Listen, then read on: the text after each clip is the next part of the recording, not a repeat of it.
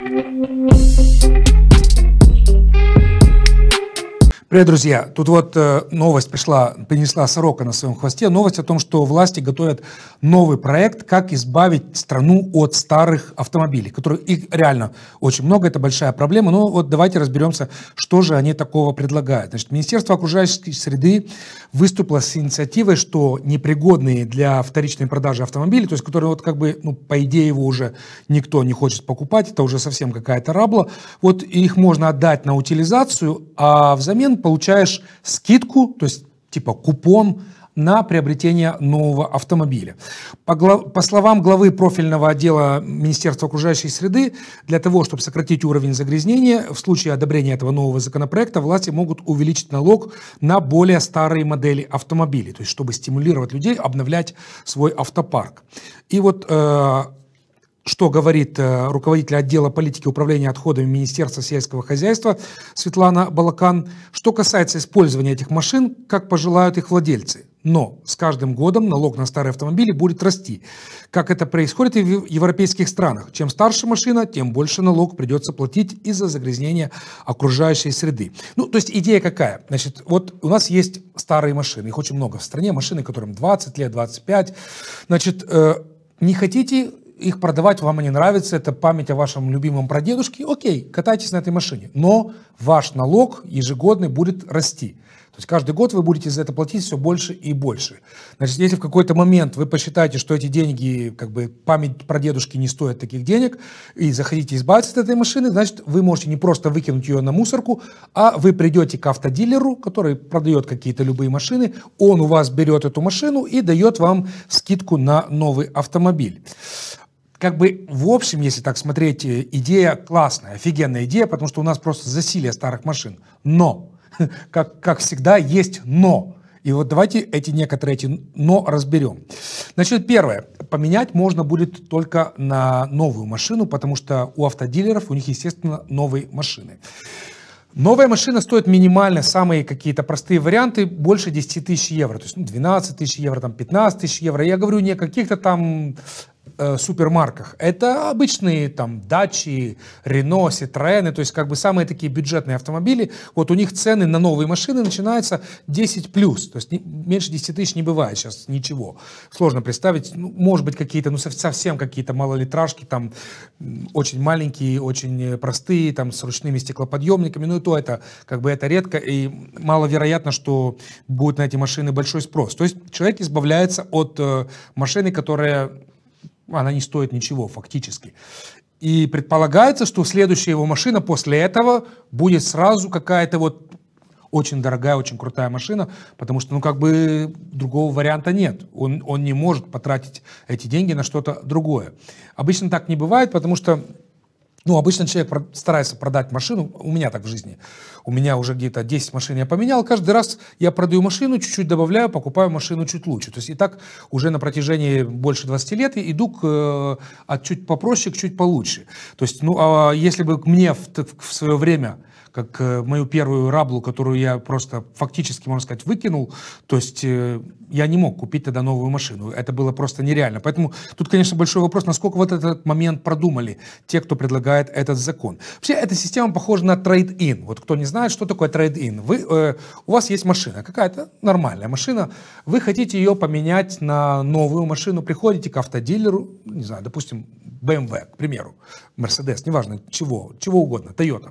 И говорите, вот у меня машина, я хочу поменять на новую машину. Э, они оценивают вашу машину в какую-то стоимость. Как правило, это чуть дешевле рынка. Ну, бывает по-разному. И вы уже как бы покупаете новую машину. Но на самом деле эта система не очень развита, потому что всегда человек пытается продать сам на рынке в надежде, что он заработает на этом больше. Хотя, э, как бы, как, как правило, не получается сильно больше заработать, но тем не менее на трейдинге, то есть как бы э, вы сразу продаете ее, и вам кажется, что вы потеряли, потому что, ну, условно говоря, вы хотели продать машину, допустим, за 10 тысяч, а дилер вам говорит, я вам даю 9 тысяч, но сразу. Нет, я попробую за 10. Вы в итоге итоге продаете полгода и продаете за 9 500. То есть стоит ли эти полгода этих стараний, я не знаю, но как бы вот э, так. На самом деле в Молдове трейд-ин не очень работает, при том, что машины, как правило, предлагаются не такие уж и плохие. То есть как бы, ну, это более-менее обычно нормальные машины. В этой же программе речь идет о том, что автодилер должен, его хотят обязать законодательно покупать хлам, который его просто с ним я не представляю, что с ним дальше делать. Просто сдать на металлолом, потому что, ну, э, как бы дилер от этого ничего выиграть не может. Ему эти машины просто не нужны. Но его заставят покупать. Что значит? Естественно, дилер не станет работать себе в убыток. Это значит, что он заложит в цену каждой новой машины какую-то небольшую надбавку. Ну, условно говоря, там, допустим, прибавит 3% на, на все машины, которые он продает. И вот за счет этого он сможет выкупать вот этот весь автомусор, который потом он будет просто, я не знаю, прессовывать, выкидывать, не знаю, что с ним дальше делать. Но как бы за счет всех, кто покупает у него новые машины, он сможет выкупать у людей вот э, всю эту э, старье. Есть еще один момент. Э, как вообще будет проходить оценка этих машин старых? Потому что я знаю, что люди, у которых машины, которым по 30 лет, они абсолютно уверены, что это великолепные машины, и что сколько? 5 тысяч она стоит, я ее когда-то купил за эти деньги. То есть очень сложно, особенно если это пенсионеры, убедить их, что этот мусор не стоит уже ничего. Они уверены, что это отличные машины, что они стоят очень дорого. И вот тут начнется проблема, потому что э, я помню, вот у меня случай этой страховой практики, как бы не совсем то, но где-то близко. В конце 90-х э, я попал в аварию, и в страховой компании, у меня тогда на тот момент был автомобиль Opel, ему было 4 года, если я не ошибаюсь. То есть машина относительно свежая, хорошая. Я прихожу в страховую компанию, а тогда действовало такое правило, что они э, давали компенсацию за страховку, исходя из оценки. То есть, условно говоря, он должен, допустим, дать мне тысячу евро. Но он говорит, ваша машина старая на столько-то процентов, и вот отнимают эти проценты из стоимости машины. Мне оценили износ моей машины четырехлетней 92%. То есть у нее осталось 8% ликвидности. Вы представляете? Это, ну, соответственно, мне дали от, от того, что должны дать за ремонт, 8% только.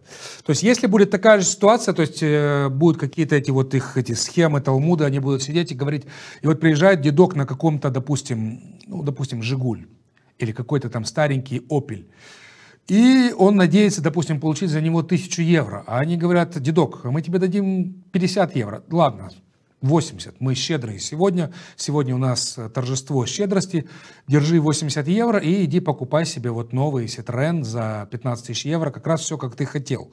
Ну, конечно, это будет э, большая проблема. Да, понятно, что дилер хочет возместить свои убытки. Он как бы считает, ага, так, вот эту вот машину я сдам на металлолом, и мне дадут за это там, условно говоря, 2000 лей.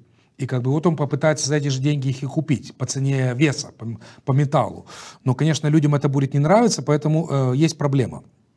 То есть, э, если говорить про вывод, однозначно это, такие инициативы очень нужны. Это просто вот, ну реально, город задыхается, потому что и с точки зрения экологии, у нас это старье, которое ездит по стране, дымит, э, вот это, это просто жесть какая-то. И с точки зрения безопасности, я когда вижу эти старые машины, попадающие в аварии, где они просто превращаются, знаете, в какой-то комок пластилина, там у них нет нормальных ремней, ремней безопасности, там в принципе отсутствуют подушки безопасности, там вообще нет понятия о том, что такое безопасность, она просто машина разваливается на куски при аварии. То есть, конечно, это все страшно, и с этим надо бороться. Но насколько продумали наши, вот те, кто этот закон продвигают, все вот те упомянутые мной э, нюансы, которые, в общем-то, могут э, достаточно быть болезненными для многих наших людей. Поэтому где вот соразмерить плюсы и минусы, тут есть вопрос. И, кстати, э, что там вообще с борьбой за экологию? Экологию. Вот э, у нас же ездит по стране огромное количество дизельных машин с вырезанным катализатором. То есть они не соответствуют никаким нормам. Даже относительно свежие машины, они выделяют огромное количество свинца. У нас рост онкологических заболеваний, в том числе и по этой причине. Потому что машин становится с каждым годом просто на какие-то катастрофические объемы больше. И эти машины никакие не проходят экологические тесты. То есть э, все, кто проходит техосмотр, знают, что никто не замеряет, я, я даже не знаю, они должны замерять по регламенту или не должны. У меня лично никогда не замеряли выброс СО. То есть, в принципе, никогда. Да, у меня относительно свежие машины, все последние там 10 лет, машины все моложе 5 лет были, но тем не менее, они что же могут быть? И у меня были дизельные машины, но никто не проверял, какой у них выброс. А, я считаю, это большая проблема. Кстати, даже в России, как казалось бы, страна, которая очень далека от борьбы за экологию, от эконорм, у них сейчас на ТО обязательно стали жестко проверять выброс, и оказалось, что там почти у всех дизелей вырезанные катализаторы, и начали очень жестко за это штрафовать. Народ побежал искать катализатора, а это дорогая штука, ее просто так не найдешь.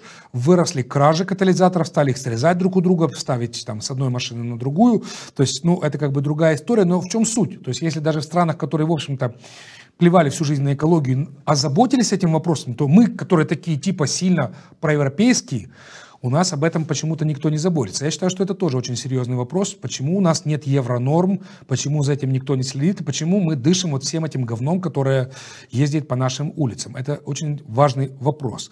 Вот я хотел это затронуть, надеюсь, что это будет услышано где-то в каких-то кабинетах. Ну, а вам всего доброго, подписывайтесь на канал, ставьте лайк, делитесь с друзьями. Пока.